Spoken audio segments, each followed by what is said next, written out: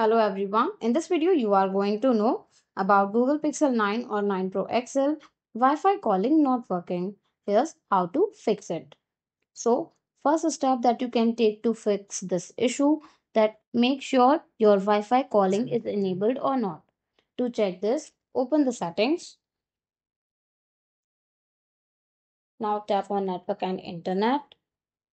Then on SIM card. On your SIM and here check Wi-Fi calling is toggled on.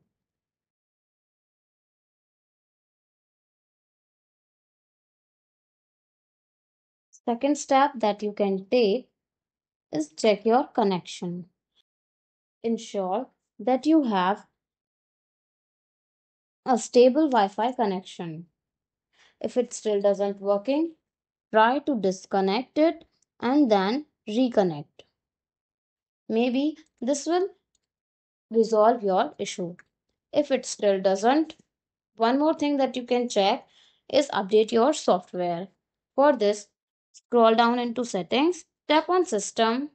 Here you will find the option software updates. Tap on it and select system update. From here, you have to update your system. Maybe this will be a problem that was causing the issue of not working Wi-Fi calling.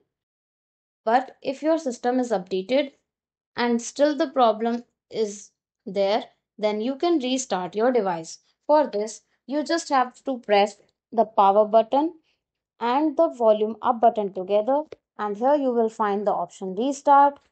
Just restart your phone and as a simple restart can often fix temporary glitches affecting Wi-Fi calling. If the issue still persists, then reach out to your carrier for assistance as they may need to enable or troubleshoot the feature on their end. Thank you, stay tuned and subscribe to our channel.